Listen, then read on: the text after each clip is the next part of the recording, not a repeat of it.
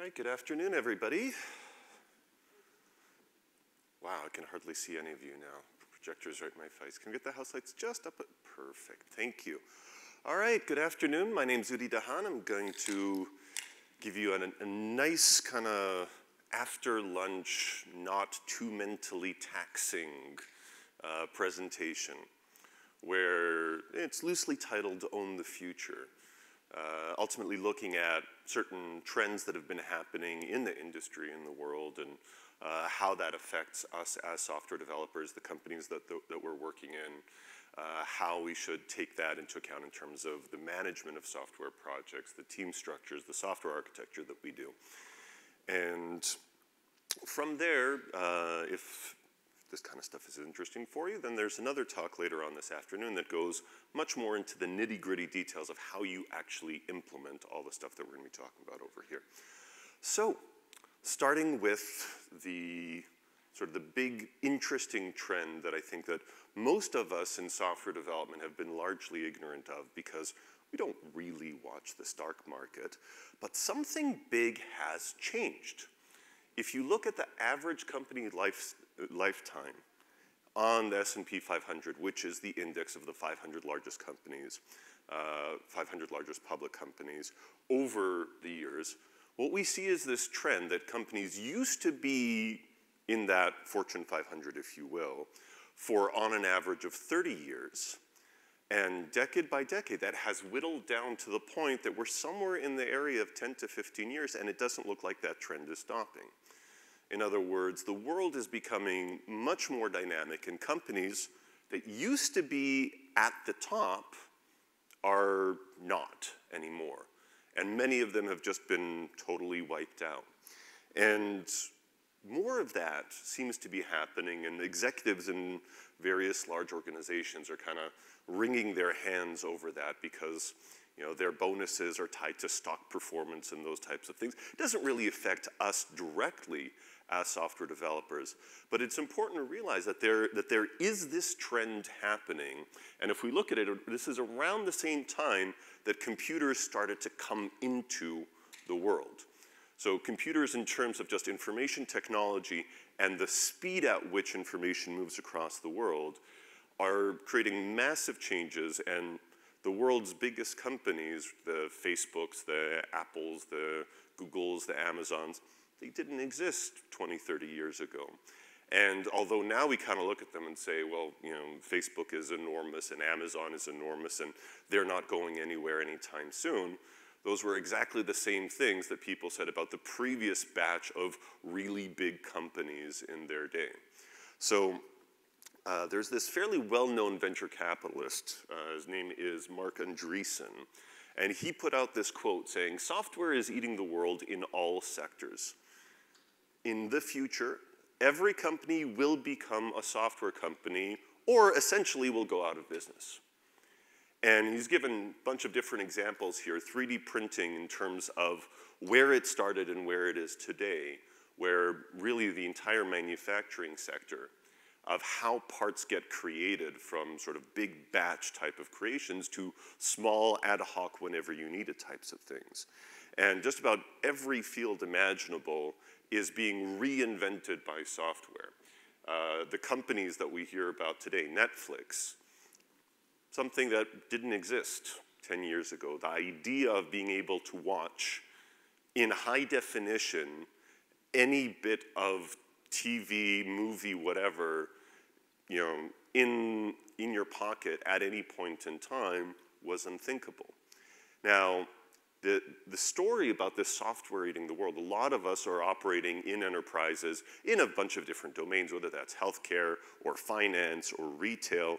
And each one of these areas has kind of been gradually affected by that. There's sort of a boiling the frog effect where there's big change happening, but because it's happening over the span of five to 10 years, most of the companies are still kind of deer in the headlights looking around kind of saying, well, it looks like my peers aren't really doing anything. So yeah, we'll open up an innovation lab. We'll do some exploration around blockchain. Who's got some blockchain crazy shit going on in their company? Okay, good. Oh yeah, one hand goes up. So it's usually at that level of sort of a token innovation type thing of, yeah, we're doing AI too, without anybody really knowing what AI is. And most of the companies out there, even though this massive trend is upon them, that idea of fundamentally reimagining themselves as a software company, as an information company, hasn't really trickled in. Most of us in software development feel this all the time. You got the business stakeholders saying, you know, just do this, just build me this project. We don't really have a seat at the decision-making table. And, you know, we do what we need to do, but the organization itself doesn't really view IT as something super duper critical to all of their decision making. Where most of that, it's business as usual. Now, this idea that software is eating the world, that companies will become software companies, you know, those statements ultimately uh, imply a fact that software fundamentally requires a different perspective from all the other things that have been going on in business environments. Now, again, as software developers, we kind of intuitively get that, but we're not really good at explaining that to business stakeholders. So most business stakeholders, again, they treat software pretty much just like every other project that they might be running in the organization. So whether it's a construction plan or whether it's a new product that they're looking to get out in terms of manufacturing, the big difference when we're talking about software is that unlike other business projects, a software project isn't ever really done in the sense that you know, you do a software project and then it's in maintenance mode.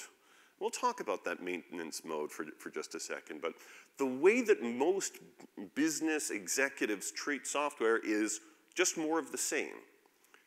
And part of the issue is that I think for us as software developers, we're in a good position to explain to the rest of the organization why it should be different. But a lot of times, and I've spent, you know, probably north of a decade talking to companies all over the world, specifically the software developers all over the world. And what I've noticed is we often lack the words. We lack the ability to explain in business terminology what is different and why things should be handled differently. And that's what I hope to transfer to you in this session is not just you know, the things that you intuitively know, but how to explain them in order to affect change for the rest of the organization. So let's start with the life cycle of a software project or a software system, where somewhere in the beginning you get some business stakeholder that comes along and says, hey, I have an idea, just build me this little app, I need these three and a half use cases, and can you get it done by the weekend? And you're like, dude, it's Friday afternoon. Between this weekend, you mean? Like, no, no, it's really simple. I saw this ad on, you can kind of build your own website in 15 minutes.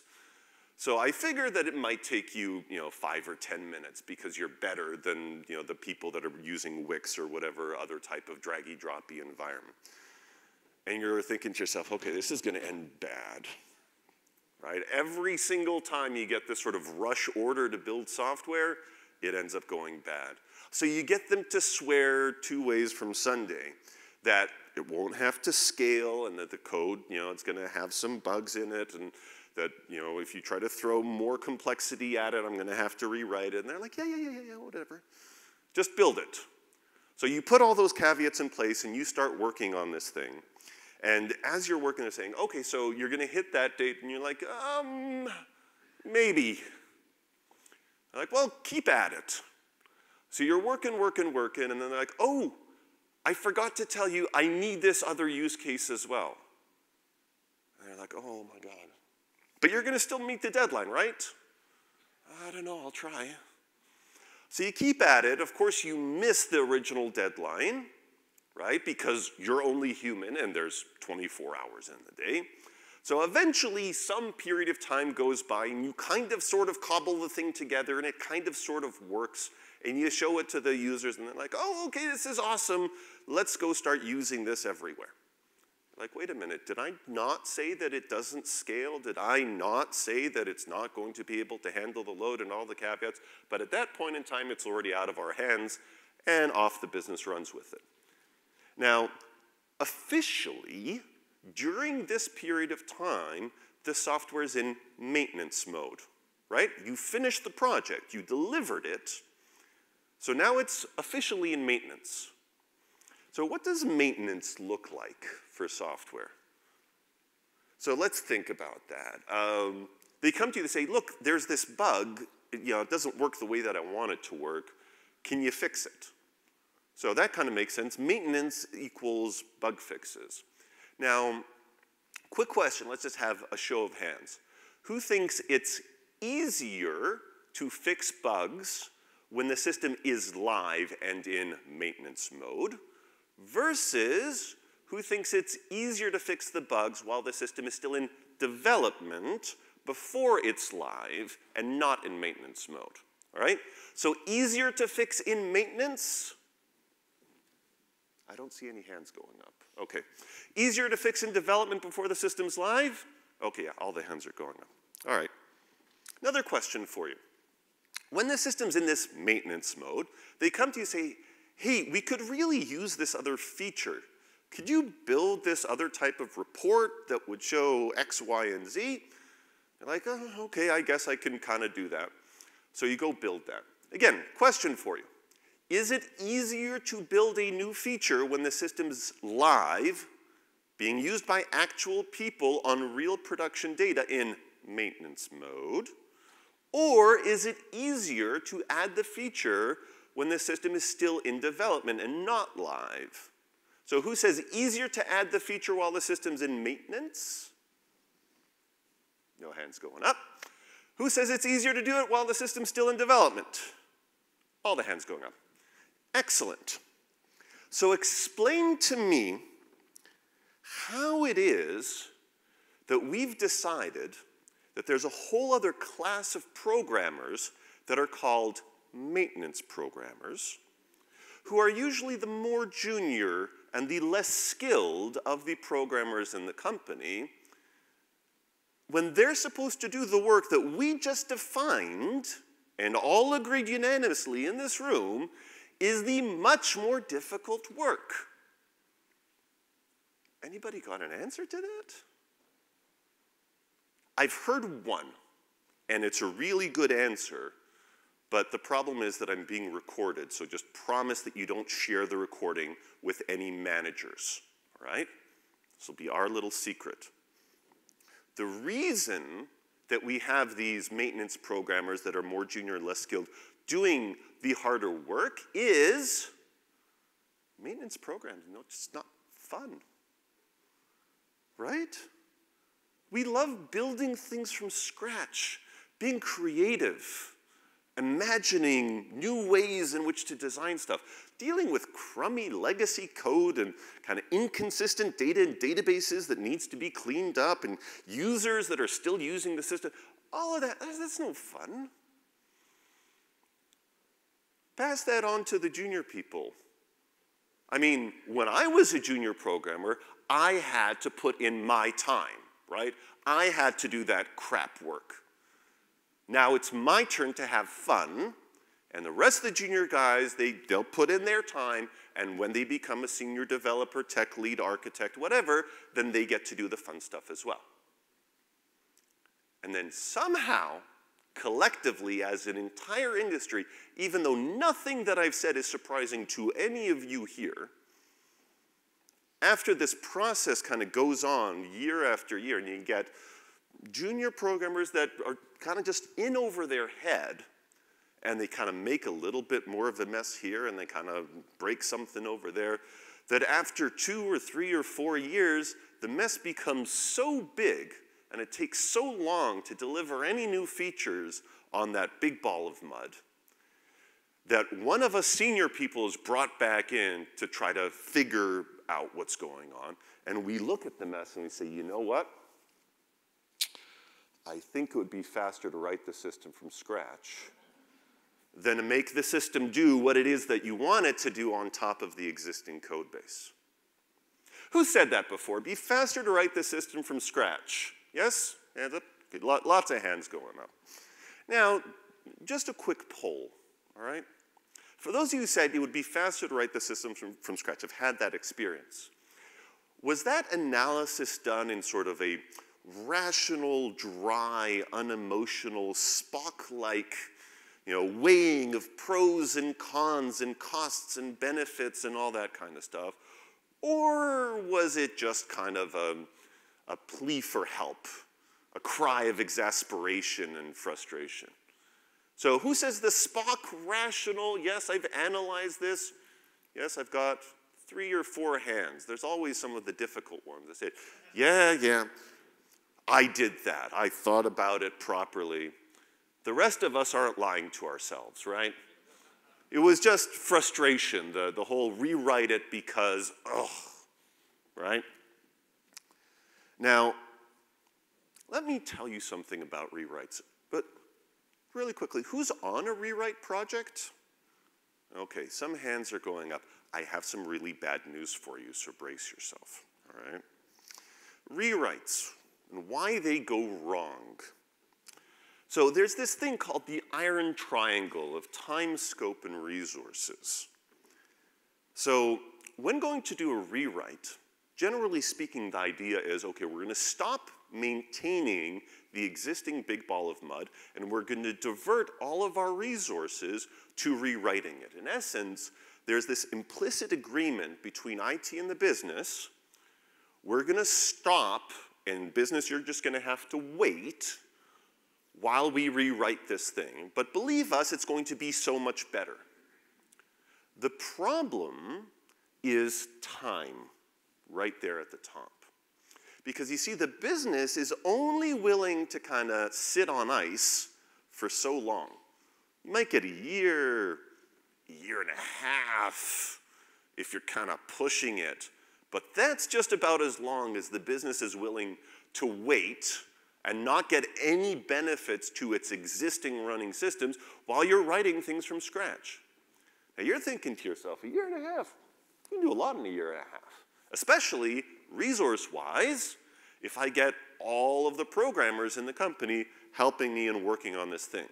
And you're thinking to yourself, well, if we just you know, DDD this thing and we BDD it and we TDD it and we just keep throwing Ds at the thing, eventually, you know, it, it, it, will succumb to our architectural vision and we will have a beautiful, pristine new system that everybody will love working on. Now, usually the first three to six months, this belief is able to kind of uh, persist. But around that point in time, various business stakeholders kind of drop by and say, hey, I heard you're rewriting the X system. You know, there's this feature I've been dying to have forever. And I've always been told that you can't put it in because the system wasn't architected for it. But now, because you're re-architecting everything, can you put this new feature in? It's really important.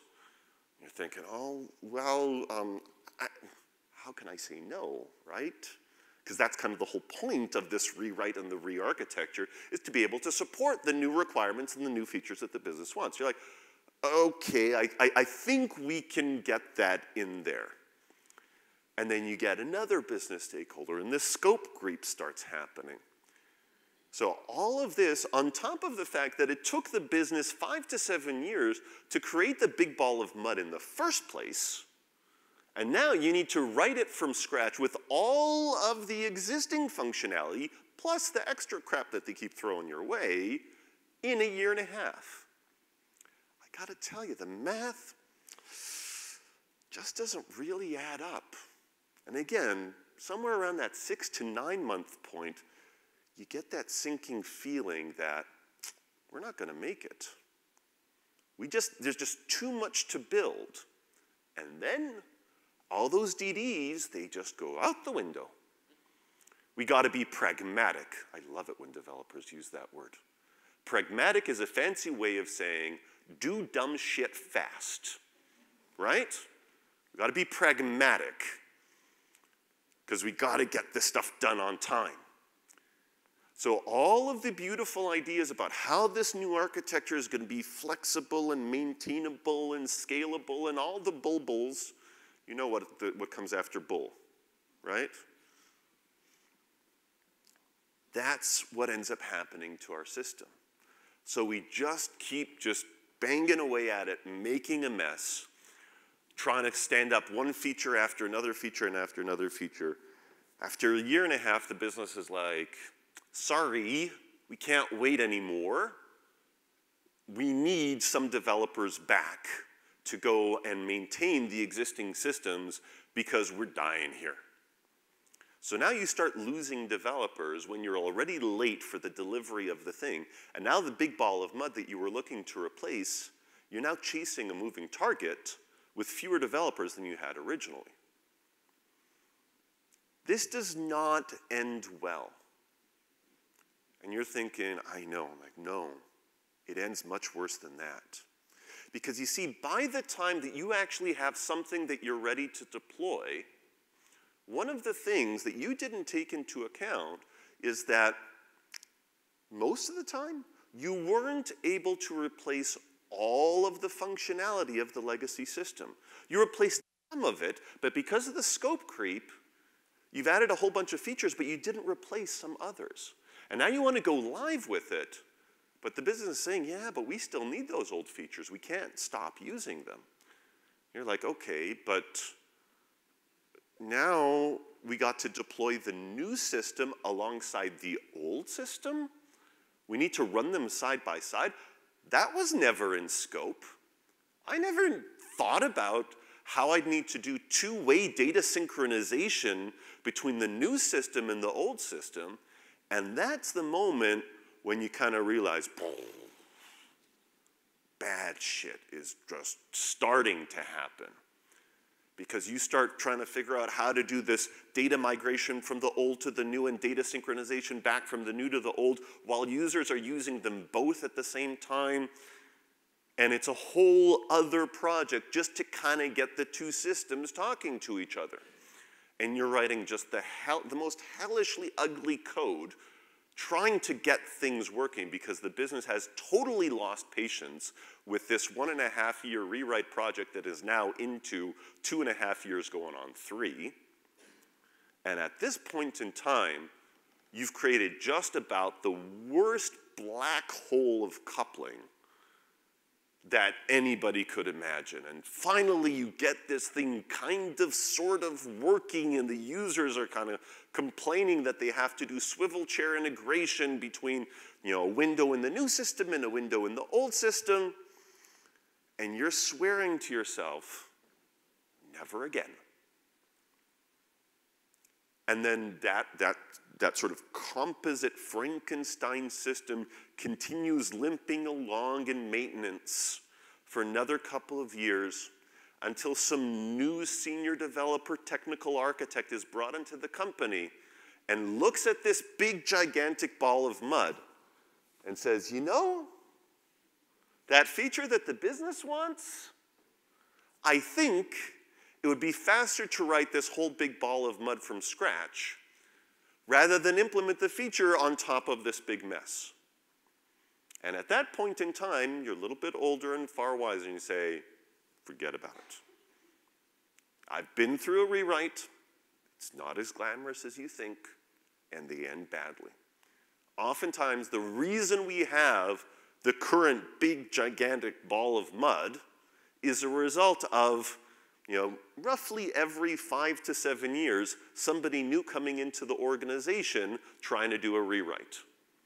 Only this time it's with a new database technology. Only this time it's with a new programming language. Only this time it's running in the cloud rather than on premises. Every time we got some technological excuse why this time it's going to be different. Anybody remember the, the, the, the good old days of the, just when .NET came on the scene and we did the, the .NET rewrite of the crappy VB system? Who, who was through one of those? Yes? Yeah, I see a bunch of hands going up. And then who was there when roughly five years later, we rewrote all of the XML web services with WCF? Yeah, hands going up, right? And then roughly five years after that, when we threw away all the WCF and replaced it with Web API and God knows what else came out of Microsoft, yeah, Entity Framework, right? That was the new batch of stuff and thrown away the old ORMs. So we've been through this rodeo a couple of times. But for some reason, the idea of a rewrite that's going to solve everything, it just never dies. There's always some new batch of programmers that are coming in, all wide-eyed and optimistic. They're saying, this time it's going to be different. So there actually is a different way to handle this, but it's not through rewrites. It's by thinking about software not as a project, but rather as a long-lived product.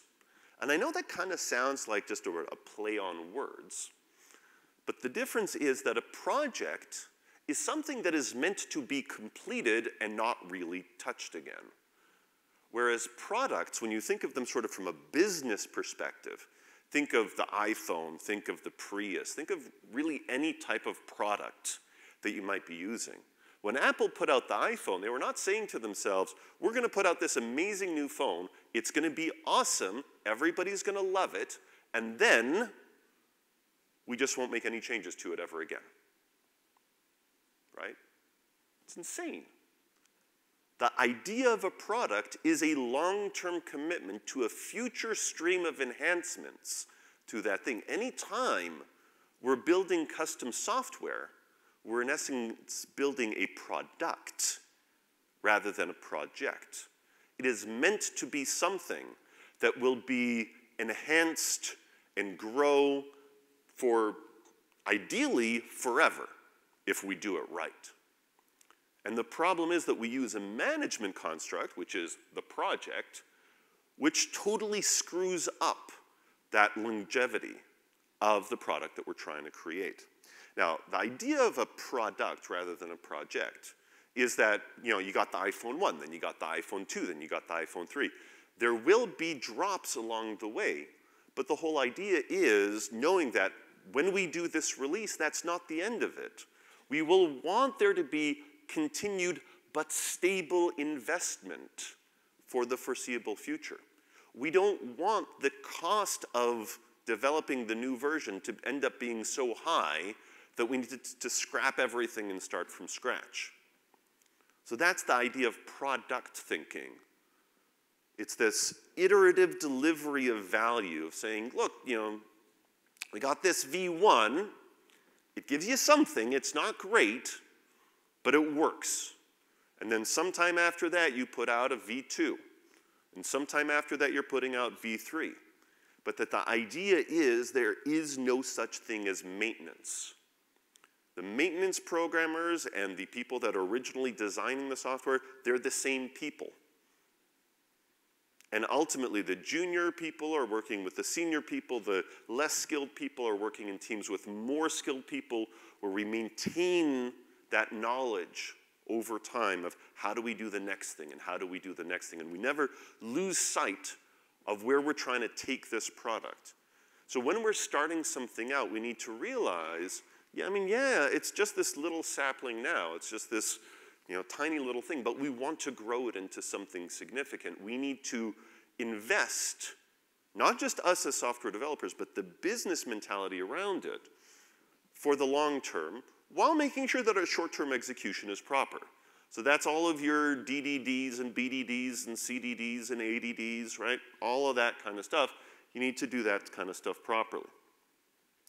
Now, what does that actually mean?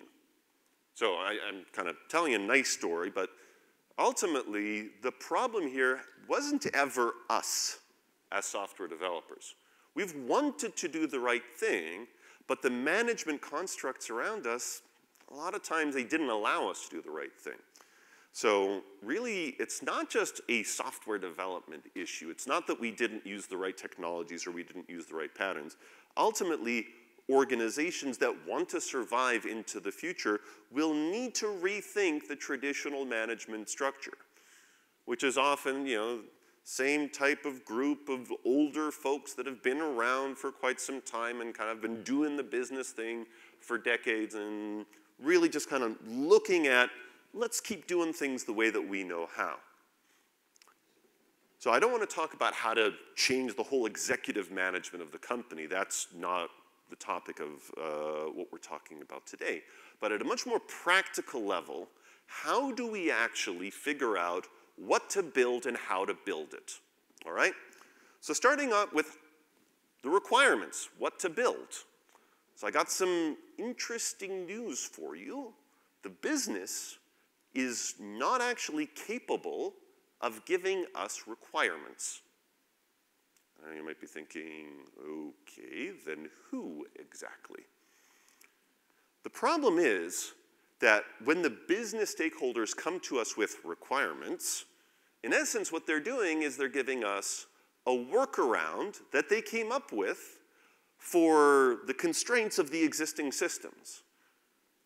So there's something that they want to achieve, and the systems are kind of getting in the way. And they're like, you know, you know if we add another column over here, I use that field and that workflow over there, and we put that in that calculation over there, and then it comes out in this report, that'll do what I want.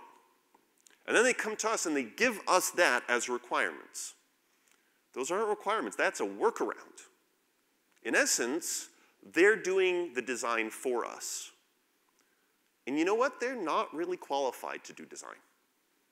But we sort of take that at face value and we go build exactly what it is that they ask for. We keep doing that over and over again, and then we end up with a big ball of mud. So we need to nip that right in the bud. And that's what this business analyst role is there for. Now, I'm going to talk in just a second what is special about this role, different from maybe the business analyst that you have in your organization. But the main thing that is important about a business analyst is that they have the stature and political capital in the organization that when the business says, hey, build X, that they can say, you know, I hear you, but I think that there might be another couple of other ways to achieve what it is that you want. So let's start having a conversation. What if we did it this way? What if we did it that way? Would that solve your problem? Well, that solves half of your problem. Well, what's the other half? You want someone who can have this pushback and have this back and forth without the business coming in and saying, just shut up and build what I told you to. And that's the problem with business analysts in many organizations today is that they don't have that stature. They don't have that ability to get the business to listen and engage in a conversation on what the actual problem is. Eventually, business analysts need to be able to translate that workaround into a sort of a business objective, what it is that you're trying to achieve. Making something better, cheaper, faster. Usually that's sort of, it's one of those three or all of the three that business is looking for. If you can't figure out, based on what they've asked from you, what is going to be appreciably better, cheaper, faster for the organization, you're miscommunicating. Now, once you can get that, then the business says, exactly, that's what I want to achieve. That's the whole point of this exercise. Then, congratulations, you still don't have a requirement. Now you at least know what might possibly be required, provided that it's not too expensive. And this is where estimation comes in. Now, you might have heard there's this movement out in the world called no estimates. Call bullshit on it, and I'll explain why. Estimates aren't really the problem. It's estimation as a process that we're not very good at. So the first thing to realize is estimates aren't promises. Again, big problem in most organizations. They ask you for an estimate, and you're like, I think it's going to take six months. When you end an estimate with a question mark, usually not a good sign. Kind of thinking, I think it's going to take longer, but if I say longer, you're not going to let me do it. So I'm just sort of trying to mentally, telepathically read what would be an acceptable number so that I don't end up looking like an incompetent programmer, while at the same time not lowballing it too much because I still have to build it in that amount of time, right? So part of the no estimates movement is saying that, yeah, that's kind of dumb. Let's stop doing that. That doesn't work. But it doesn't really come up with a better answer of saying, so how exactly do you do estimates? So here's the thing. I'm going to give you the secret sauce of estimation.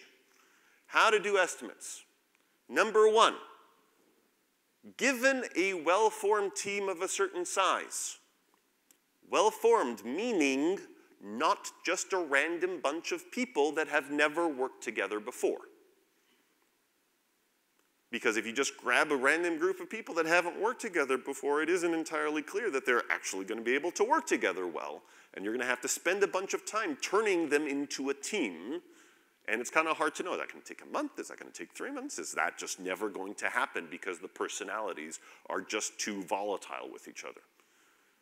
So, all estimates need to presume, given a well formed team of a certain size, another important criteria that is not working on anything else. Obviously, if you're giving an estimate saying it's going to take three months, I say, awesome, I expect it in three months. By the way, I need you to also do support on this and professional services with that client, and, and, and. Like, you know, it's not going to be ready in three months where 90% of that three months I'm not actually working on the thing. So, well formed team, not working on anything else. And now, here's the last important piece all estimates have, first of all, a confidence level and a range. So, given a well formed team of X that is not working on anything else, I am 90% confident it will take anywhere between 3 and 12 months. That is a well formed estimate that communicates a lot more than it'll be ready in three months, it'll be ready in 12 months. So that's the first practical thing I want you to take away next Monday morning. You go back, someone asks you for an estimate, this is the format that you use. Again, you might have that problem where business is saying, I didn't hear any of that. All I heard was it's going to be ready in three months. So that's the tricky bit of sort of the trust and the communication between business and IT. But at least for your part, make sure you write down these estimates and send it CC'd to your boss and all the necessary people. Say, that is my estimate. And that is what the architect role does on the IT side of things. This is what we can do in order to help change the management of software product development. So we go give these estimates and business stakeholders will hear that and hopefully actually listen and engage with us properly and say, you know what, that, that range is too broad. Three to 12 months? How can I make decisions based on that? You're kind of saying maybe it's going to cost me a million dollars, maybe it's going to cost me four million dollars. That's way too broad a range. At which point in time, you can counter that, say, well, if you give me a couple of days to do some proof of concept work, I can try a bunch of things out and hopefully I can give you a tighter estimate. Say two days? Yeah, sure, go ahead. And you come back after two days and give them some new estimate where it's saying, now I'm 90% confident it's going to take anywhere between 10 to 12 months. They're like, oh, crap. I was hoping you'd say anywhere between three and four months based on the previous estimate that you gave me. But again, through this, you're communicating that confidence. Now, you might get a pushback that says, so before you said you could do it in three months, can you do it? Your response in that case, when someone tries to pin you down to a certain number, is to respond once again in the form saying, given a well formed team of this size that is not working on anything else, I am 10% confident that it will be done in three months. In other words, I'm 90% confident that we will fail doing it in three months. Now, if someone says, do it anyway, well, you can't really stop them, but at least you've done your part to communicate the risk that's associated with that. So ultimately, you go through this cycle enough times of saying, you know, give me some time to do a proof of concept, a bigger proof of concept, until such point in time when the business says, you know what, we'll go for it. Based on that estimate, you know, six to 12 months, 10 to 12 months, we'll do it. At which point in time, congratulations, now you have a requirement where the business knows how much this thing is going to cost, knows what the benefit is going to be, and they're like, awesome. Now, this is where, again, things can get dicey. So they'll turn around and say, oh, so it'll be ready by X? Watch out for that.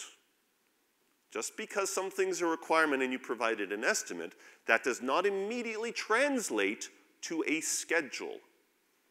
Why? Because most importantly, when you look at the schedule, you've already committed to a whole bunch of other previous requirements on all of those other estimates. So you've got a backlog of 10 big things that have already been accepted and are part of your schedule. So when the business said, so it'll be ready at the end of the year, your response is, yes, it will be at, ready at the end of year 2025. And they're like, whoa, sorry, what? You said 12 months. Like, yeah, but we've got a whole bunch of other five years of work that we need to get through first.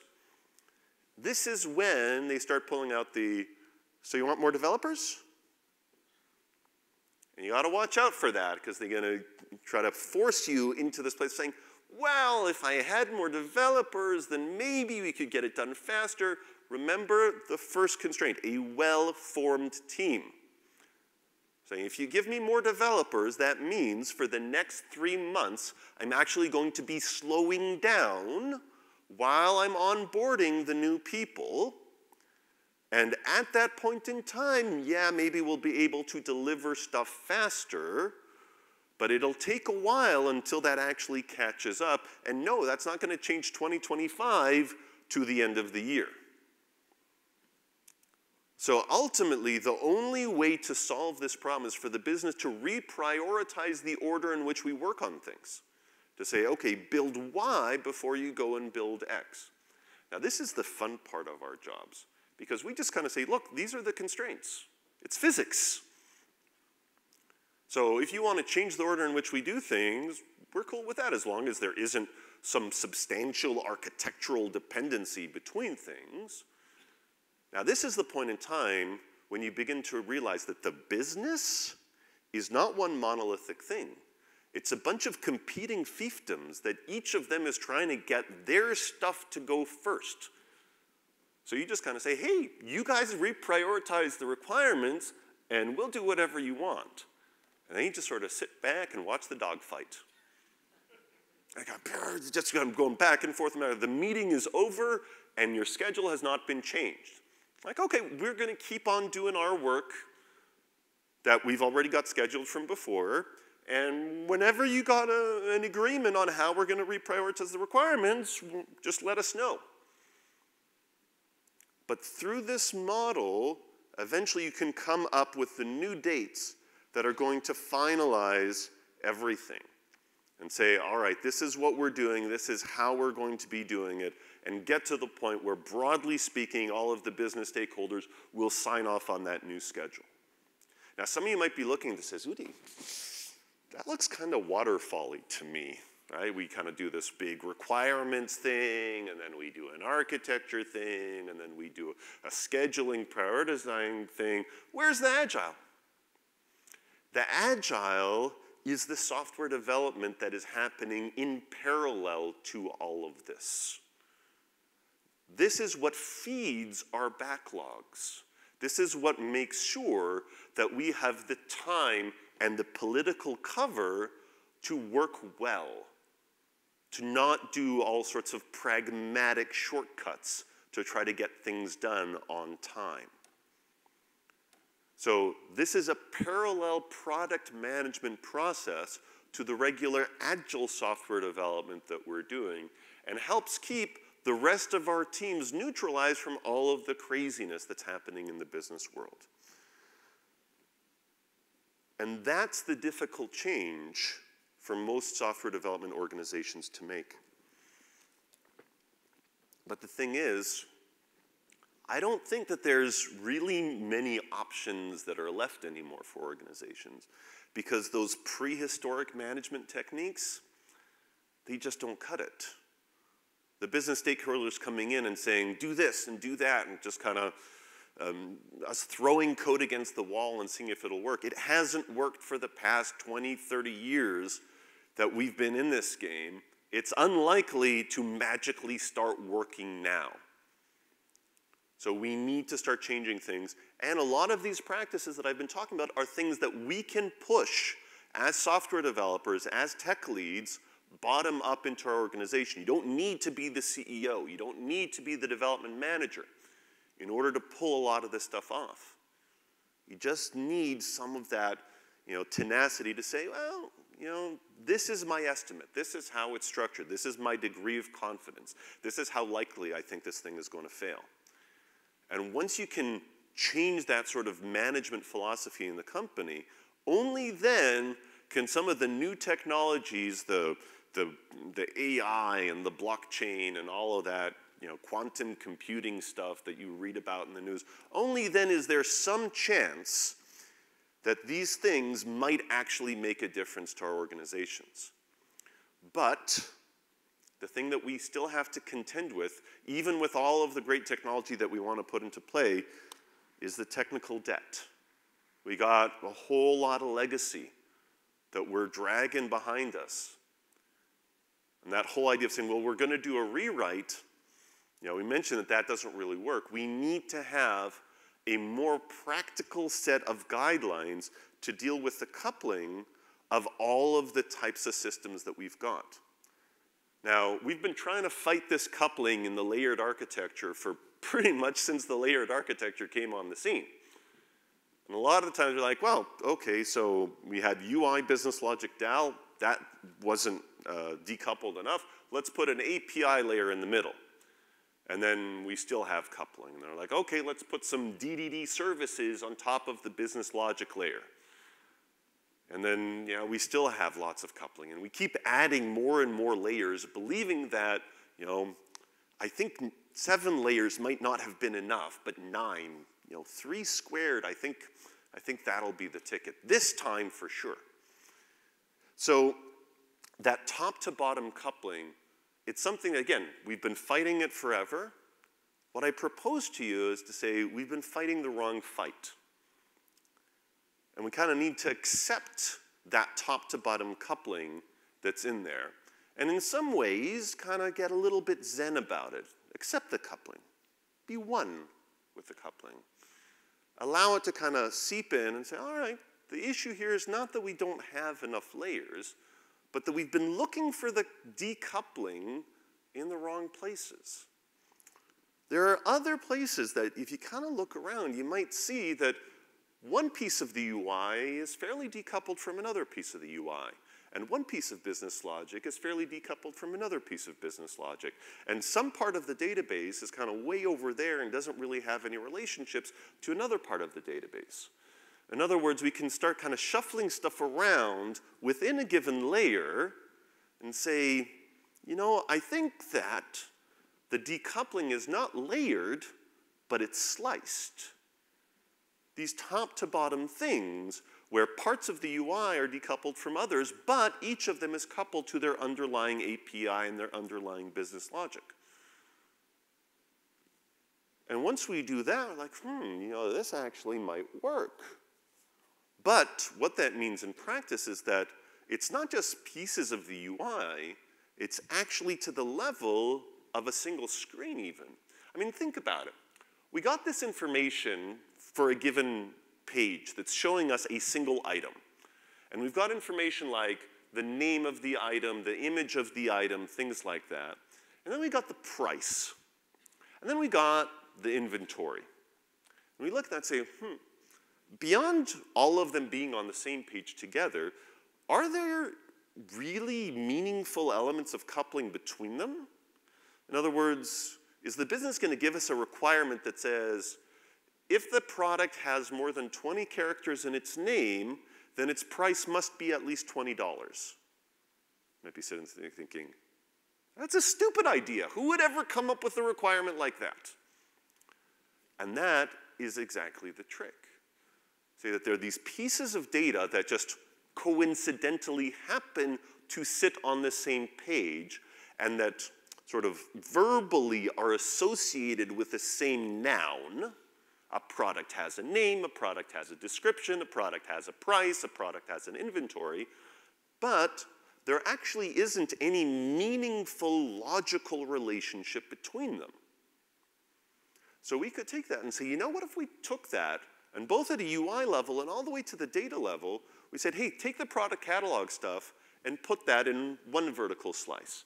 And take the price and put that in another vertical slice. And take the ratings and put that in another vertical slice. And take the inventory and put that in another vertical slice.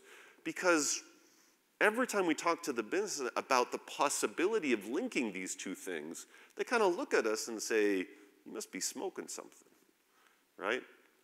You cannot have a product that costs more than $20 that will have less than 20 units of inventory.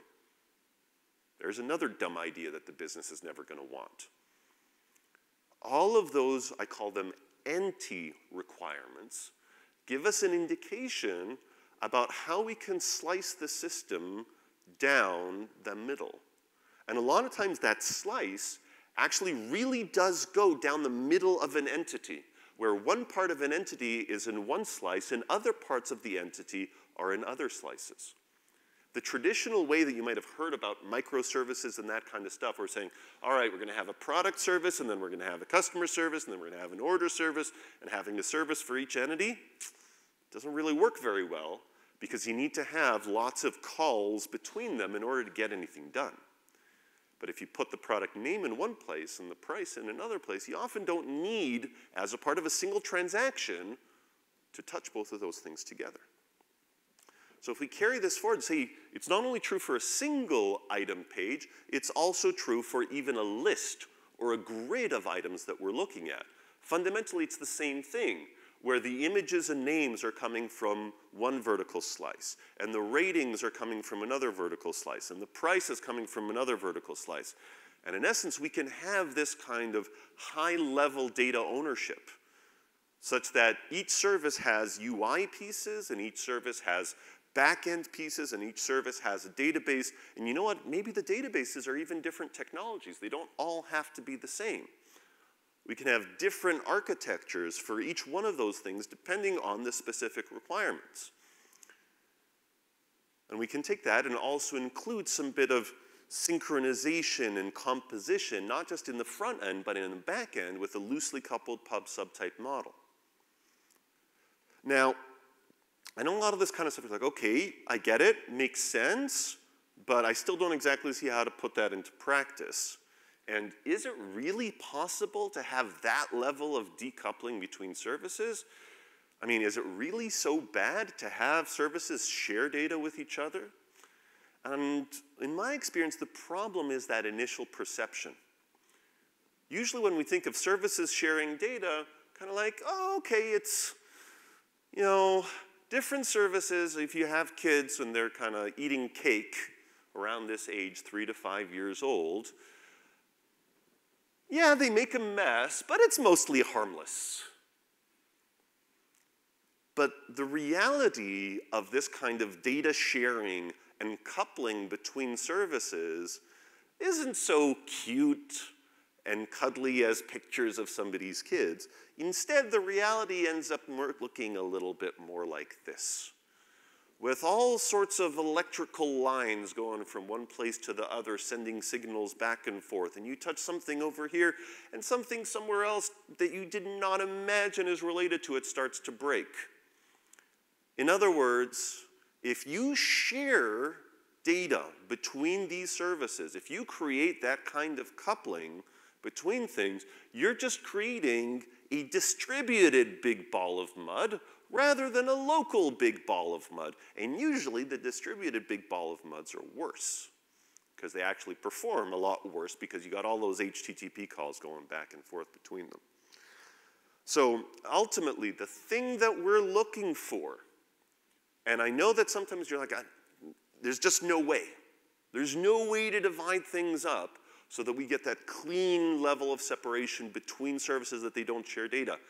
And I gotta tell you, I've been doing this a long time, I've seen it in a bunch of different domains. It is possible to have that level of autonomy and ownership and loose coupling between services where you're not passing data around. And when you find it, it's kind of one of those things you're like, oh my God, it's obvious. How did I not see it before? But like so many things, it's only obvious in retrospect. So that's the hard work for us as architects, is not to take those shortcuts, and to take the extra bit of time in business analysis to find out how exactly are we going to be carving up our entities into different places so that things don't need to get shared. And if you're able to do that well and get the organization to execute on that, when you put that stuff into practice, there will be that feeling of, oh yeah. So, I hope I've given you some ideas of what is possible, what are the things to do in terms of estimation, what are the things not to do, at the least in terms of architecture, and hopefully I've interested you enough to, to want to come to my next talk, where together we will rule the galaxy. Thank you all very much, and I hope to see you in my next talk.